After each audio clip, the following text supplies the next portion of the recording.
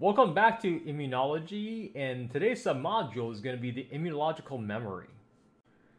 Generating memory helper Ts and B cells. Memory B and helper T cells can be produced efficiently even when no immune system cells have been infected by an attacker.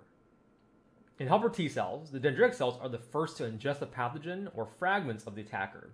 They travel to nearby lymph nodes, they use class 2 MHC molecules to present the peptides, and the helper T recognizes it to then activate into memory cells.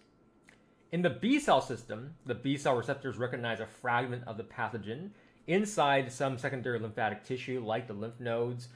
And, and if T cells are available, then some of the resulting B cells will differentiate into the memory cells. On the right side, you can see kind of a pathway of showing you how this common lymphoid progenitor cell has the fate of becoming into a B cell or a T cell. If it becomes B cell, it can clone into the plasma cell and produce antibodies or the memory B cell for later response. T cells could become the cytotoxic T cell, CTL, or the helper T cells. Antibody titer is a measurement of immunological memory. The primary response is the measurable response of the antibody production to the first exposure of an antigen. There is a lag or latent phase, which is initial period of no detectable antibody that lasts about three to six days, sometimes even to a week. And this includes the activation detection, proliferation, differentiation of an antigen. Production of the antibodies usually starts within one to two weeks. Subsequent exposures and secondary responses are much shorter than the primary response due to that memory lymphocyte. It will then generate a larger amount of antibody, and the antibody levels rise rapidly, particularly the IgG antibodies. Over here's a graph showing you on the x-axis the days of exposure, 25 days, and the y-axis the serum antibody titer.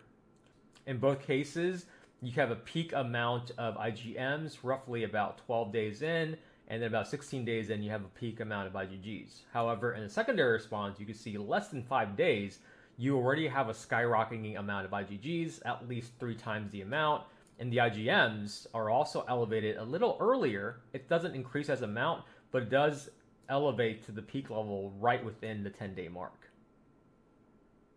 So the primary phase starts with the IgM being expressed, while the secondary phase starts with the IgGs. The difference in the primary secondary is due to the memory B cell response.